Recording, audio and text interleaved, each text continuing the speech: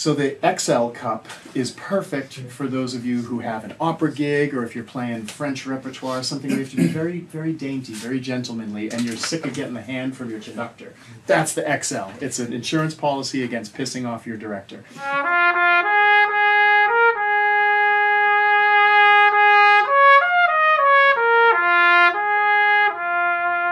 Whereas the XL2 is a much more uh, feisty, kind of you know big sounding one C sort of thing. You know John Williams or Alpine Symphony, all that stuff. Those are the things that you know, and also for jazz playing uh, that the XL2 would do.